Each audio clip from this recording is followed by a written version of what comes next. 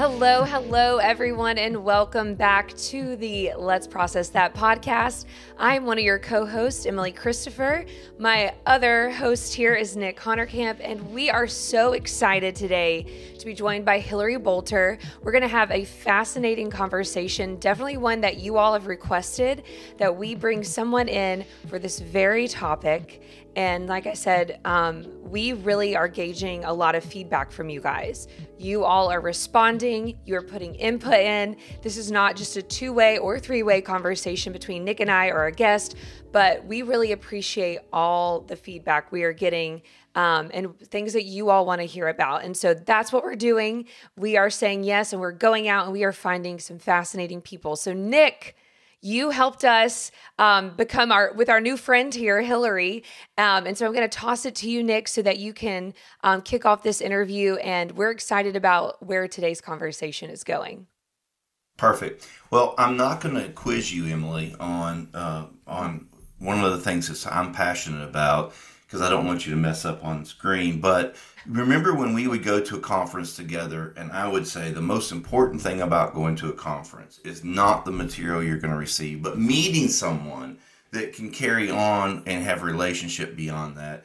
And uh, about a year ago, I was at a conference for the Veteran Services of the Carolinas, and Hillary Bolter was one of the presenters there. Got a chance to just sort of meet her in the peripheral and enjoyed her presentation. And then when we started talking about mental health issues, I reached out to our friend Brandon Wilson. I said, Brandon, give me a name. And he said, Hillary, all day long, call Hillary. And I'm like, okay, we'll do that. So Hillary Bolter has her own practice where she is a mental health therapist. She not only treats people individually, but also does trainings for organizations. And that's where I got to know her a little bit. Uh, she's an LCSW. The reason I bring that up, that she's an LCSW, is because when I got out of the church lane and got into the humanitarian lane, there were terms like RA, peer support specialist, LCSW, and stuff like that I became aware of. And she um, she helps people. That's a licensed clinical social worker. She helps people um, work through mental health issues, addictions, and that's what intrigued us. And so, Hillary, welcome to our show, and we're excited to have you today, and uh, appreciate you taking the time to do that. Um, when I say LCSW, obviously that doesn't fully describe who you are, but what do you think that means to most folks to hear that you're a licensed social worker?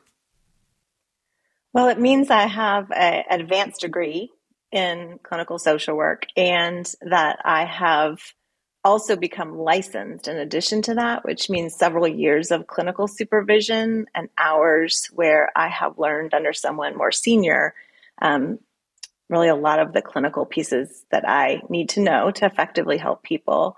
Um, and um, to remain licensed, there's requirement to gain continuing education every year and maintain that license. So there are ethical pieces. It's saying, hey, I am committed to being a lifelong clinician learner, that I am not an expert at any one moment, and that sure. I I'm, I'm ready to, I'm, I'm committed to continue learning to help the people that I work with the best that I can. So, being having an advanced degree and having this level of licensure, what drew you to this? This is not something that happened by accident. This is something that you intentionally leaned in and invested a lot of your time and energy. Tell me a little bit about that. What drew you into this field? Well, I think I'm going to have to start with my parents there. You know, it's it, it comes from family all. values. you know, I had a great mentor at the VA who always said, you know, let's honor the shoulders on which we stand. You know, we all are standing on the shoulders of others in our past and in our professions. And um, it's interesting that you asked that question because my father recently passed. And so I've been oh, reflecting a lot about um, the values that he instilled in me and and who I am as a result of him and my mother. And they met at divinity school in the 70s. Wow. they met at um, divinity school and um, my mom went into uh, becoming ordained in the Methodist Church, and my father, um, after that, went into special education. And so I grew up in a family um, system in, in the city of Atlanta, Atlanta, Georgia, where I constantly saw my parents committed to supporting their community, to supporting others, to um, learning and being in relationship, to being um, connected to church communities, to service. Um, uh, my my mother was a part of a group that started a homeless shelter in the basement of Trinity United Methodist in Atlanta, which is still going today. Wow. That's cool. So um, it, it was sort of like just this continuation of how I grew up. Um, I always knew that I wanted to help support people in their growth and change. And my mom also had a private practice, and she, I remember at one point she said, "Just don't become a therapist. It's hard. It's hard." I think she was trying to be protective of me, and and here I became a therapist, and my sister became an educator. So we really followed in their footsteps. Wow, that's awesome. that's wonderful. Well, thank you for what you do, especially post 2020. Um, we're all, it, it's interesting because it, it, when we look at 2020, we see that those who were struggling struggled pretty significantly. And then the rest of us all realized that we're all struggling at some level. And, and it was this great awareness. Tell me a little bit about what your work looked like pre 2020 and then post 2020 and tell us you know how things have shifted and changed i would say that i have seen just an amplification an exacerbation of what was happening before and i see it even in my own family and with my children you know what was hard before became really amplified and harder during the pandemic with the isolation and the fear um, that was there um, things feel really intense and that intensity impacts people and I know your listeners, um, a lot of your listeners are supporting congregants um, and members of the community, and uh, things are amplified. Okay. So tell me a little bit about um, self care, um, the sort of things that you're running into, and how you're able to help some folks process and deal with what they're what they're dealing with now. Well, I love I love the term self nurturing even more than self care mm. um, because I think self care um, has some associations with like bubble baths and massages and and also like white privilege. Mm-hmm. um, I think you know members of different socioeconomic classes and BIPOC community, right. et cetera, may not uh, that that may not feel connected to that term. Um, sure. And so yeah, I think that, um, and I say it too, still sometimes I'm like, I need some more self care. um, but I like the self nurturing. Like, in what ways are we nurturing ourselves, our spirit, our physical body, um, our mind, um, our soul? And so that question, the answer to that question is going to be different for every single person that we talk to. It might be bubble baths and massages for someone. Um, but it might be other things. I'm curious when you talk with people about self care or self nurturing, what comes up? Yeah, I would Lord. say I know I know for me, um, I think especially after the pandemic or during the pandemic, we were all very much encouraged get outside. You know, we're all in our homes. And one thing I feel like that was sparked from that, or at least what I see in my community, um, without having any economic implications or anything like that, people could get outside. There, you know, where you live, even if it's just the park across the street, or if you are more adventurous and you wanted to take up hiking and that kind of thing. And I think a lot of people that I've seen have really been able to reconnect with nature in some kind of small way. Um, and, and others I've seen it stick. And I have a few friends who all of a sudden now they're really into hiking where before the pandemic they were not. Um, but that is one beautiful thing that I've I've seen. Um, and have, I don't know if that's something that goes back to you and your practice and what you've been um, talking about with your clients and patients and that kind of thing. Um, has that been a reoccurring theme for you as well, Hillary? Absolutely. I mean, I'm a big uh, my my undergraduate was actually in therapeutic uses of the wilderness. So oh, I cool. I really I believe there's a lot of healing um, ability in the wilderness, and yeah. our our biology is wired and connected to that as a resource. And um, although some of us may be less comfortable than others with being out in it, um, but I, that's a, a, tremendous and um, available resource to us. You know, the mm-hmm. the sun. Um, the birds. I cracked a window in this room just so I could hear the birds this morning. Yeah. Cool. Yeah, that's interesting because in 2020 I went I went dipped very low. It was not it was very difficult for me. And I had to measure my energy every single day. I'd wake up and I said, I'm a two. I am a two and I cannot afford to go to one. I have got to do and I literally would go and sit, get somewhere uh, where we live. Lake Junaluska is a wonderful place to get outside, just to see, feel the sunshine. The, the actual vitamin D, the sunshine helped me raise my level of energy just a little bit. In fact, a week ago Sunday, um, I went to hiking church. There's a church in Asheville that does hiking church on Sunday morning, and I went, and it was wonderful to be outside and just go up to the top of a mountain and enjoy that a little bit. Um, one of the things that when you say self nourishment, I'm a dude. We weren't taught self nourishment. Nobody ever grabbed me as a boy and said, listen, one thing you need to learn is self nourishment. So, how difficult is it uh, post 2020 for a, a guy to come in and say, I need some help? and for you to talk to them about self nourishment because it's never even been on my radar. Talk a little bit about that for people like me. Right. Uh, from that more masculine perspective, I think some of it is finding the language that fits, right? So whether it's self nurturing, nourishment, self care, um, or, or other metaphors like oxygen mask over self first. That's something yep. we know if we've ever been on a plane.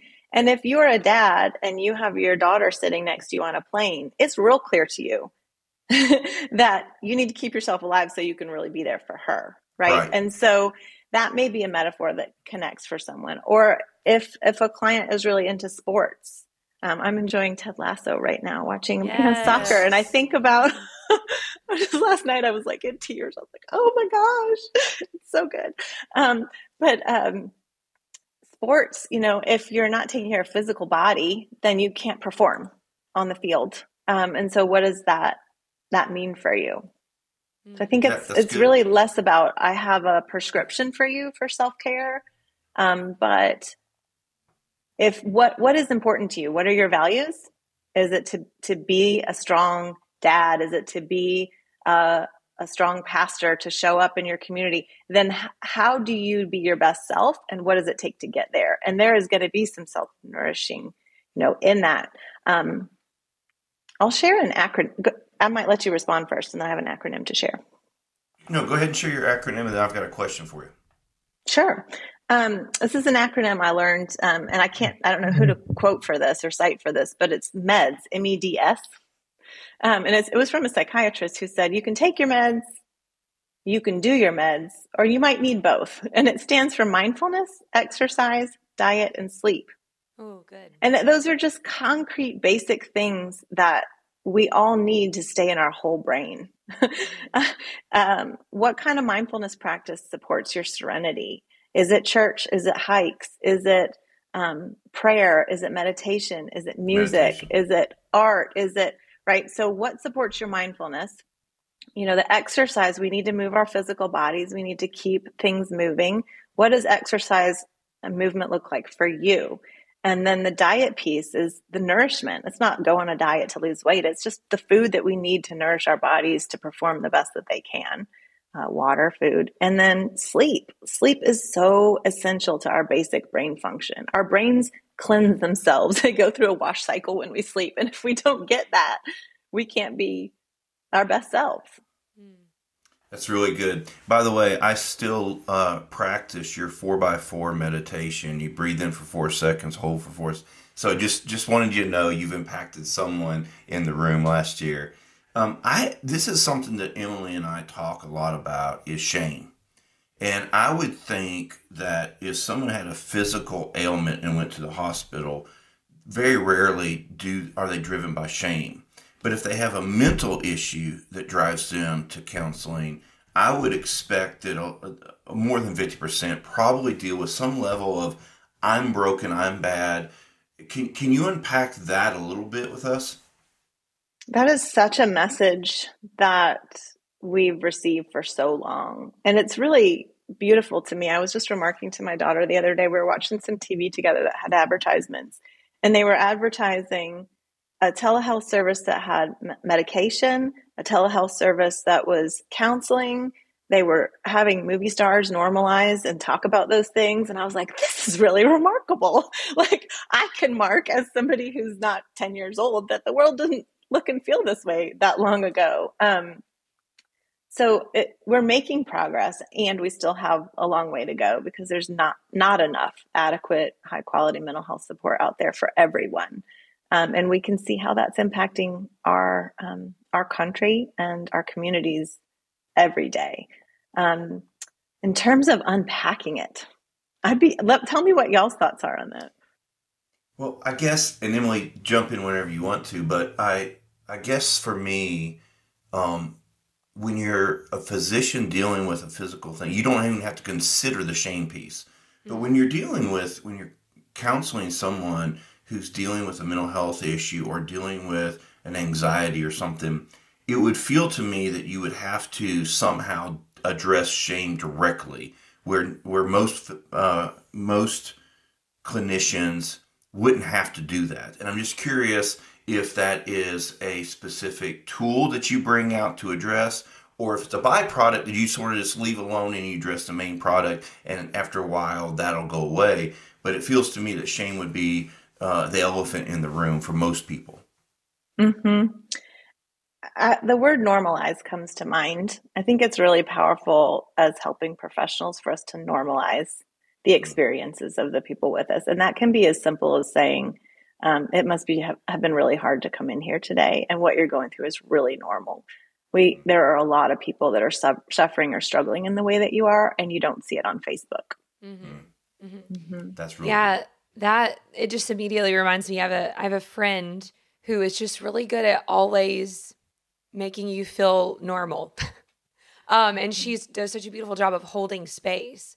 And anything that i bring up to her i come to her as a friend she immediately empathizes. And she's like i am so sorry you feel that way. I i hate that you're going through this. And that immediately breaks down that shame for me that there's somebody who can look me in the eye and be like i see how you're struggling i see that you're hurt you're wounded um, that there's been something that has really taken something from you and i want you to know like i see you and i love you and i'm here for you I may not be able to give you the answers, but I'm going to be here and sit with you in this. And that has been one of the most powerful things. And of course, that's speaking from a friendship perspective. But I think even just on a human perspective, um, that it's just important for us to be able to do that for one another, um, not necessarily even in a clinical space. But um, if anyone comes to us, I think learning that empathy and looking someone in the eye and just letting them know like hey we all walk through a place of of shame of guilt of embarrassment we've all felt those things and i and i want to just hold space right now for you to be able to um if you need to cry if you need to talk i'm here and i think because I, I start thinking about the mental health crisis in our world and i get very overwhelmed um and i'm like oh what do we need to be doing and I think, and please speak to this because my thing is, I want people to walk away today with gained knowledge, but also steps. What are some things that we can do as ordinary citizens of the world in our communities? And all of our communities are dealing with different things. I'm in Hampton Roads, Virginia. Um, so very different issues um, sometimes than Asheville, North Carolina. But what are some things that we can do as members of our community? What are some tools that we can learn that can allow us to start addressing these things? Because yes it's really cool when like a celebrity's like me too i totally get what you guys are going through i struggle as well i'm not just this beautiful shiny thing. Um, but i would love for you just to speak to us. How can we um, even use some of the tools that you have um, and help people around us and in our community and our neighborhoods emily you said the word that I would say is the most important, which is empathy. Mm-hmm.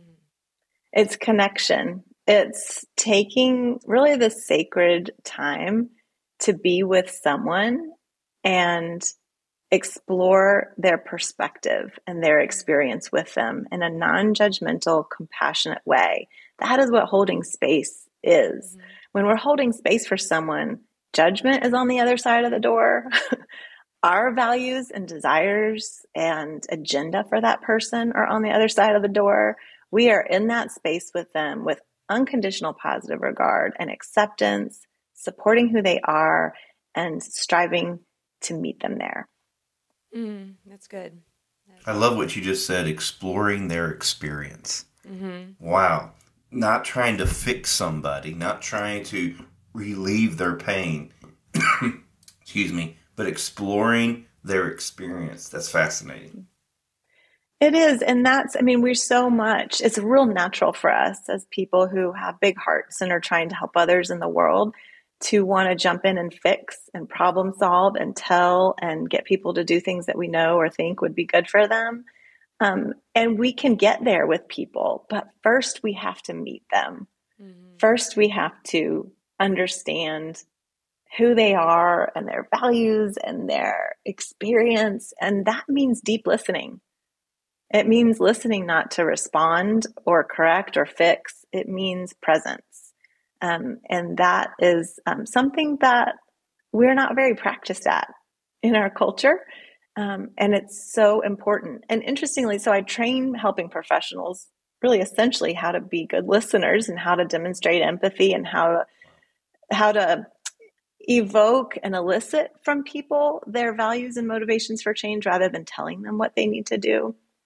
And you know, people come into the trainings often from that perspective of like, well, I'm educated and I have this resources for people and they need to do these things. You know, there's a strong desire to fix and help in that way. Um, but as soon as we practice this deep listening with one another, people say, oh, yeah, that's right. I know this is where it has to start. We can get to that other stuff, but it starts with that holding space. One thing that I'm interested in is I think most listeners would understand the value of exercise diet, and sleep. But I don't think most of our folks would value mindfulness. Can you tell me why mindfulness is so important in that MEDS formula that you just gave us a few minutes ago? I always like to elicit before I respond. So my, my okay, natural sure. tendency is like, what makes mindfulness so important for you? Meditation, prayer, and Emily? I'll I'll start since Nick's Nick's thinking. So for me, I am a multi-passionate person. I have many projects. Um, like even before you heard, like I am a director of marketing at a large nonprofit. I am a musician. Um, I have a robust social life. I'm very close to my family, my fiance, my friends. Like I am going in a million different directions, and I like that. That's how I like to live my life. However, if I don't stop and pause, I will be in a, a not so great place. We'll go we'll go to a dark place. I will get overstimulated. I will get overwhelmed and I will begin to withdraw. And anyone in my life who's close to me, they know if I start if I start being a recluse, whoa, huge red flag because this girl loves to be out and about and she loves people. So for me with mindfulness is I have to give myself that space every day where I pause, I reflect on the day, I reflect on my interactions. How did I speak to my colleagues? How did I address issues? Um, where was my tone? Where was my attitude? Um, it's just kind of like a realignment time for me. And some days I need half an hour alone to do that. Sometimes I need five minutes to do that.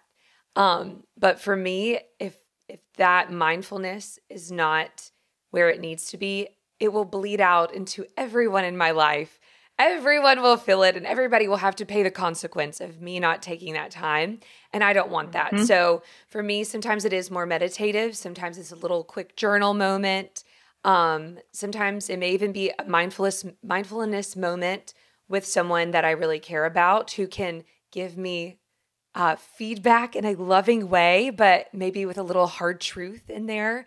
Um, so yeah, for me, if there's not mindfulness, you don't want to be around me. And I'm I'm self-aware to know that it's not cute and it's not fun. so um, for me, I think it is the grounding part of who I am.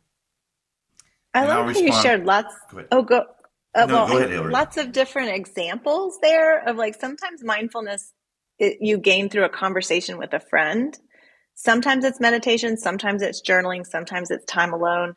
There are so many different ways that we can be mindful, or awareness might be another uh, reflection, self reflection. Um, we all have a compass inside of us if we take the time to check in with that compass, and we all have different ways that we do that the best. I'd love to hear mm-hmm. yours, Nick.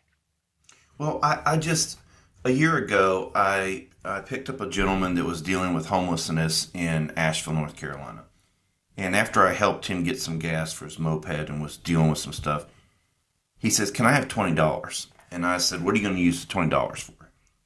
and he went through and told me a couple things he'd do with the $20. And I said, But what about tomorrow? He said, Tomorrow? Well, you don't even think about tomorrow. I mean, I'll, I'll deal with tomorrow tomorrow. All I need, $20 is is the goal for today. If I get that $20 today, it's going to be a great day. And then tomorrow we wake up and we'll deal with tomorrow.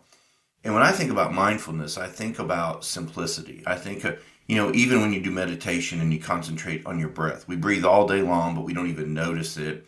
When we come out of, oh my gosh, what, what's my health going to be like in my 70s? Am I going to have enough money to retire? And, and we, we have all these things going on in our world. When I think about mindfulness, it is simplifying to right now, this moment where I am and and then trying to calm myself down, figure out what I need in this moment.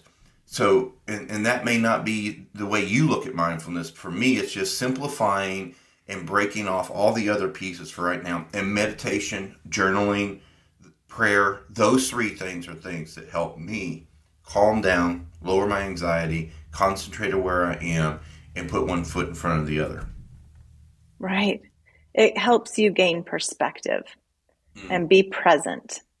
And you gave a great, that's a great example with the individual you named that was um, unhoused, that was living just for today, is yeah. um, that's also survival. And if we're not living just for today, then we have the privilege to be mindful, right? Mm. That allows us, I think this is where I kind of think about the survival brain is um, you know, if we think about the brain like a ladder upstairs, middle, and downstairs brain, our downstairs brain is that survival level. Our upstairs brain is our ability to reflect and think about and plan and have perspective. Um, if we're in survival, we can't access that, and there's no time. And I think a lot of folks that that live with less privilege would say, "I don't have time for mindfulness," or I have time on Sunday when I stop working for a couple hours and I go to church and that's when I get mine, right? So we each have different ways that that we access that. Um, but again, I think of it kind of like that compass inside. Like how do I how do I touch base with my internal compass and catch a breath and be present and get perspective and maybe tap in with the divine, you know, whatever supports you yeah. the most. So, Hillary, one of the things that happened over the last two years is I would put together pastor breakfasts and bring 10 or 12 pastors together across denominational lines and would just talk to them about what's the condition of the church? What are you dealing with today that's different than pre 2020? The number one thing they said is our congregants are coming to us for pastoral care but their issues are way beyond pastoral care. Their mental health issues, and we don't know what to do. We don't know how to help them. We don't know where to refer them. And so let me ask this question. What, what are some of the triggers that cause people to get professional help? When, when, what is some of the common triggers that someone says, wow, I'm a little out of control and I just need some outside help to get through this season of my life? Gosh, what a complex question. Kind of what what brings people to their knees in order to get mm. additional support. Um, yeah. And you know, I think about from the perspective of of pastors, um, you know, the question is scope. Like what feels within my scope and my manageability. You know, when a congregant is um, calling every day and showing up and has a high needs consistently you know something that the the minister the pastor and the community can't meet to support. Um, that's a clear indication that some external um, clinical perspective you know professional support could be beneficial from. Um, on the side of an individual who's come you know brought to their knees and saying i i need something to be different that that um, gauge is going to be different for each person, kind of depending on their tolerance and threshold for suffering mm-hmm. and struggle, um, and their community reflecting that to them. You know, some people are in a community where there is um, messages like "Don't you don't do that." Um, you don't get help. This the only yeah. way to get help is through church or the Lord or or work or your family. You don't talk about that outside your family. You know, there's those messages that prevent people from getting more support. Um, yeah, so I guess I just laid out a, a couple of different things. What do you think? Yeah, I would. I think the challenge in the church world is is that we represent God and God can do all things, and so it's like, hey, I'll just pray with you, and this will solve all the problems or whatever. So I think a lot of ministers have a hard time of referring and saying, look, this is way beyond what, what I'm doing as a pastor. I would think if most people are dealing with a friend, family member that has chronic hopelessness, uh, struggling with addiction, um, those kind of behaviors is when we can, oh, maybe they even mention suicide, um, yes. that we step in and we say, hey, you're you're stepping on some lines that, that that we probably need to get some help. And and I was just curious if there were certain triggers. Obviously there's life situations like divorce and everything else that could trigger that. But I'm thinking about the people in my world that deal with chronic hopelessness or they are, are dealing with addiction.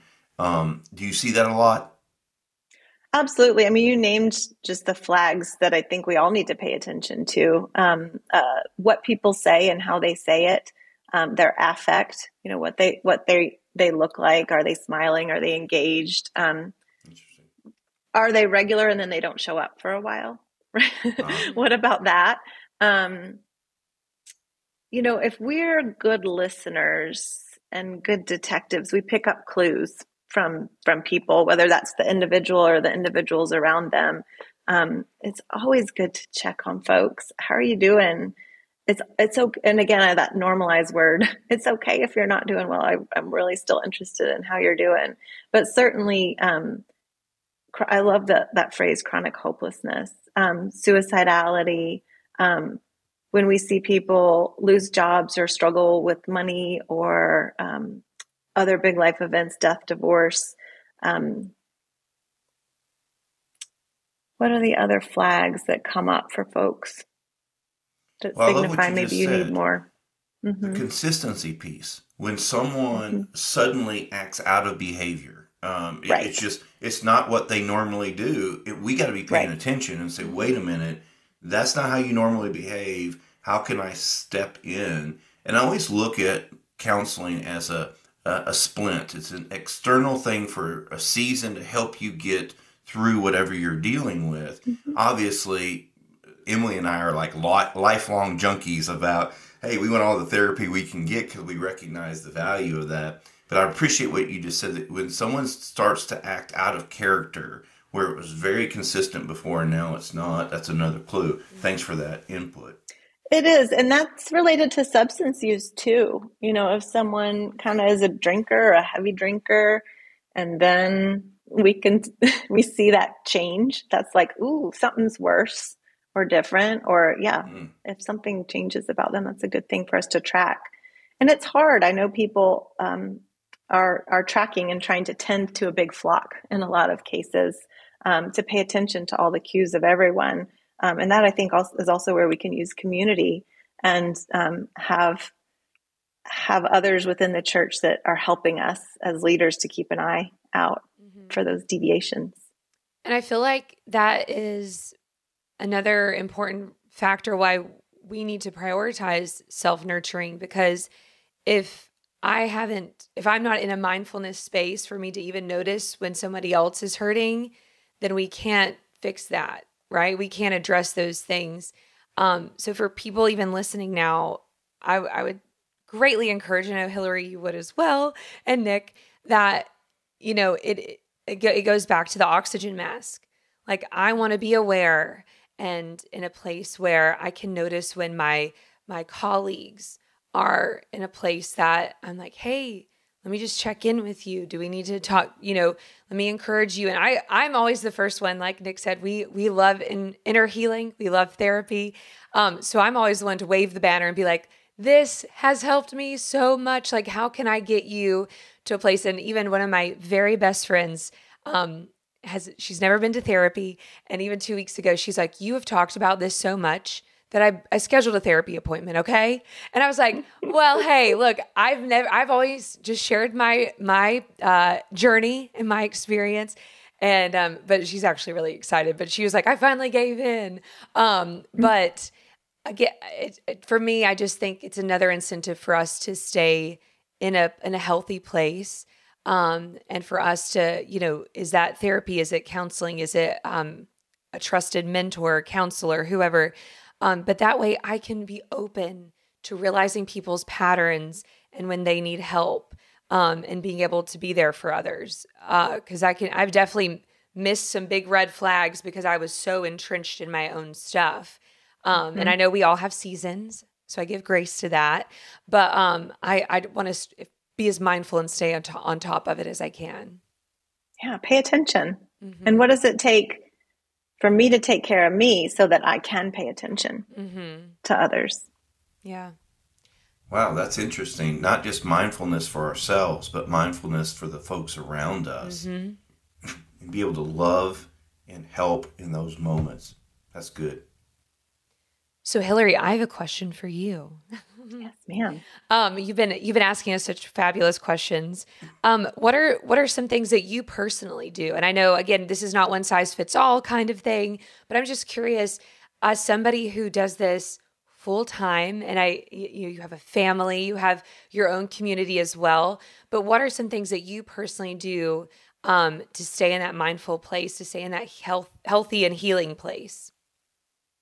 Well, you know, before we got on this call this morning, um, I sat and I meditated for maybe 10 minutes. And then I wrote my journal for a little bit, had my cup of tea, and then I put some music on. Um, those are some ways this morning that I found some grounding and mindfulness. Um, I plan on taking a hike later today. I have the luxury today of having some space from my kiddos to do, get to do some self care. So that's self care, self nurturing. Um, so that's what I'm doing. Um, I was reflecting recently, as I said, my dad passed recently, and um, he modeled this for me. Um, in the summers, he took a week off and would go camping by himself in the North Georgia mountains. And it was, uh, you know, I thought, gosh, maybe that's not everyone's thing to go camping alone for a week. But what that message gave me, what the message was to me is it is important to take time to fill your cup mm-hmm. in whatever way that is. In fact, so important that I'll step away from my family to to do it, um, so that I can show up strong and in my best self for my family. Um, so, you know, for me, it's also time with girlfriends. Um, and what else is it? Making sure I schedule off periodically. Um, work can be very consuming, and there's always people that need things. Always. Mm-hmm. Always. Um, and, you know, because I work for myself now, I run my own business, um, I make sure that I take time off quarterly, um, even if it's just a long weekend, uh, to check in and recharge. I have a therapist. Awesome. Awesome. uh-huh. I'm trying to think what is my other my what else is on my list. yeah, no, that's that's fabulous. And I think again, um, sometimes we need examples and mm-hmm. um, we need to hear, all right, well, I've never thought about journaling before, but let me check it out. And it might be, you know, somebody's new thing. Um, mm-hmm. but I'm I'm somebody who always wants to to know the practical and right you know at the least steps. let me let me try it out and it may not be my uh my self nur- nurturing uh activity but um i want to try it or i'm open to trying it because mm-hmm. there are so many things and so many i uh i mean i you get on the internet and it's like a million things coming at you and so when i can hear from one person hey this is just my routine or something i do to kind of get back in focus and on in alignment. So I appreciate those practical things that you you've shared, and um, it's helpful because again, it may be something that's out of our our comfort zone or out of our box of practice, but when we can hear those things, it's like, okay, well, I can grab a pen and paper and see what happens. Mm-hmm. Um, or I can sit and do some breathing exercises for five minutes. So, yeah, thank you for those practical tools. Yeah. And those tools can change across our lifetime. Yeah. You know, there was um for a long time I did the practice of morning pages, which is from the artist's mm-hmm. way. It's where you write for three pages, stream yeah, of consciousness, Cameron. get all the crap out. And when I when I do that, I eventually get all the crap out and then I eventually I hear my inner voice mm. and my inner wisdom. And I'm like, oh yeah, there I am. There you are. Um, and I have journals and journals and journals filled with that.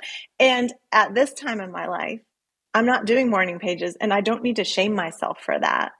Right. Um, it's something else that is working for me. It's some, it's some meditation and it's, I'm so busy. It's, it's not going to be 20 minutes twice a day. it yeah. might be 10 minutes every other day.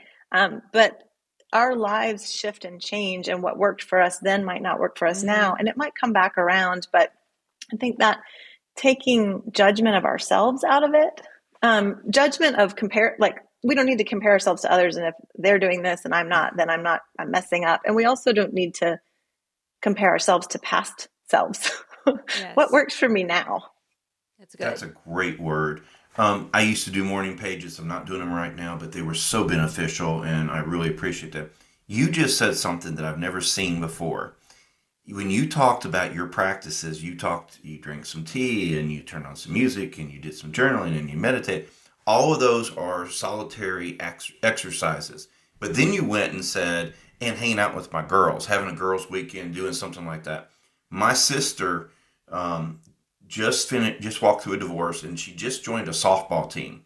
And the softball team enjoyed each other so much they stayed together. Now they've moved on to kickball season, and nice. I love that she's found community. That mindfulness can be in community as well, and do a group activity, not just a, an individual solitary activity. That was in, very interesting to me. Absolutely. I mean, I it sounds like Emily, you're you're pretty extroverted, and I am as well. Yes. And I'm a verbal processor, and sometimes I need to figure out what I mean and need through conversation. Mm-hmm. And so that is also mindfulness. Yeah, mm. that's good. That is really good. I love it.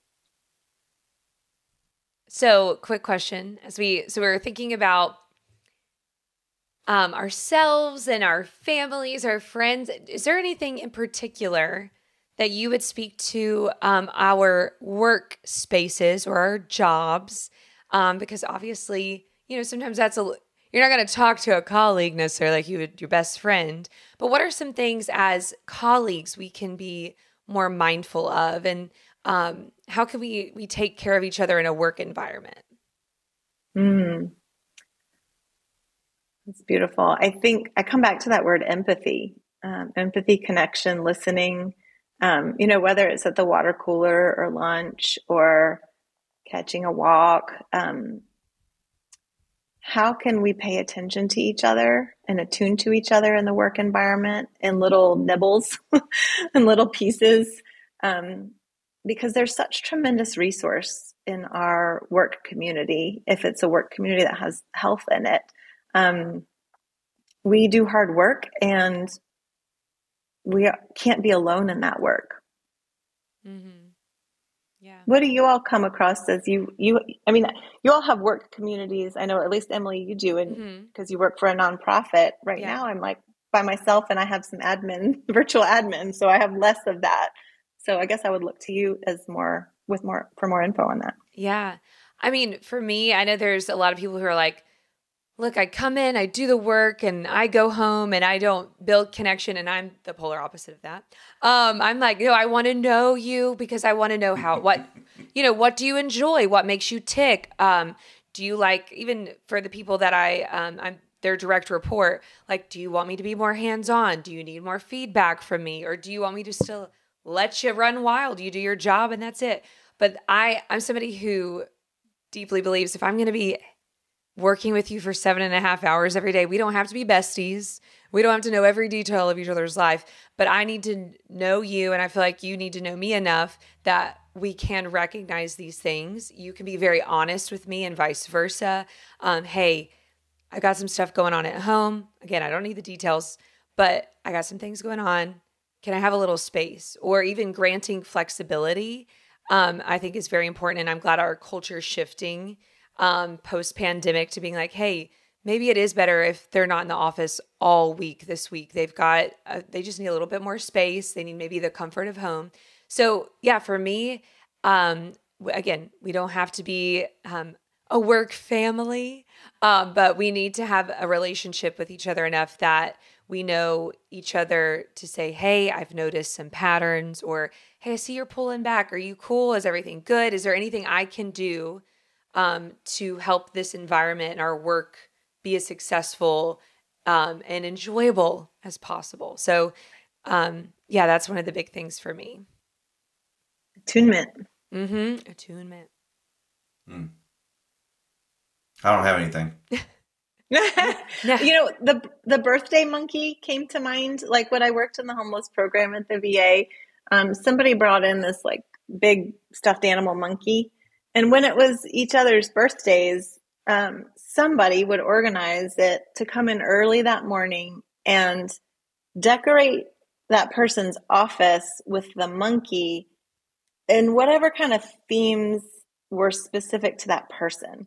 Like I at the time, I remember when they did the birthday monkey for me, they put, they put, um, what was it? Like, um, paper clips. They unfolded them and put them in the monkey's back because I was really into going to acupuncture at the time. Oh. That is like, so funny. It was it was just little things like, or maybe it's somebody's uh, UNC fan and that somebody brought in their UNC T-shirt and put it on the monkey. You know, something that said I see who you are. Mm-hmm. Yeah. I care about you, and I'm willing to take a tiny bit extra space um, yeah. to honor that. Yeah, that's awesome. Beautiful. I love that. I love it. Well, Hillary, we have had an incredible time. I feel like this interview flew by. I feel like we just got started. Um, but we really thank you just for your insight and um, your graciousness. Like you're just a very I like just talking to you right now. I'm like I feel like I'm filled with more grace than I was an hour ago. Um, and I really just appreciate that and just the reflection that that's who you are is bouncing back and it's really warm and beautiful. And so um, we appreciate your time and insight. Um, I know I've enjoyed this conversation um, and I know Nick has as well. So we just, we appreciate your time. Um, as we wrap up, is there anything else you would like to say? Anything else? Um, if not, I would love for you to um, let us know if people were like, ooh, she said something and I, I got one more little question for her, or I'd like to connect with her.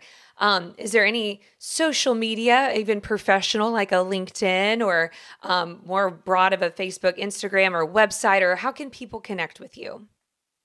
Absolutely. Well, one thing I think listeners can't see is like the warm glow that is on each of our faces as we're kind of ending this conversation. There's like I can feel the connection that's grown. And that connection has grown because each of us are showing up with genuineness and compassion and open hearts and deep listening. And like those are some of the ingredients to the good stuff, right? And and um, I think your listeners can probably feel that too. Um, there's lots of ways to connect with me. Um, the organization that I am the founder and CEO of is called MI Center for Change, like My Center for Change, but MI. Uh, so micenterforchange.com. And I'm on Instagram at Hillary Bolter. And I'm on LinkedIn. You can connect with me there, Hillary Bolter. Um, what else? Yeah, I've got Facebook. I'm on Facebook too. I'm on all the platforms. She's on it all. Awesome. Well, we will we will link all of those. Oh, look at you! She's on YouTube. I have a YouTube channel. I do little. Uh, awesome. Basically, I, I'm trying to spread what we're talking about which is yeah. this compassion empathy connection non-judgmental like this this is where it begins in the work that we're doing with people. And I, I put out a youtube video every week about it and all sorts of stuff. That is awesome. Well we will link all of that um, down below in the description. So please go check that out. Hillary again thank you. Nick am i missing anything before i do our, our wrap up You got it, girl. I feel like I just had therapy. Let's go. I know, I know. I'm feeling great. Um, awesome. Well, again, everybody, thank you so much for joining this conversation. Um, please feel free to reach out through our email, let's process that at gmail.com, or comment in uh, the little comment section down there. Um, you can connect with Nick and I. Again, we always provide our links to all of our ways of connection online. Um, so please do that. Again, thank you, Hillary, so, so much. We appreciate it. We also appreciate um, our amazing producer, Adrian Vosh, this incredible music that you're listening to by Caleb Honerkamp, and all of our photography done by Allison Frost from Before the Foundations Photography. You guys have an incredible week, and we will see you next time. Bye bye.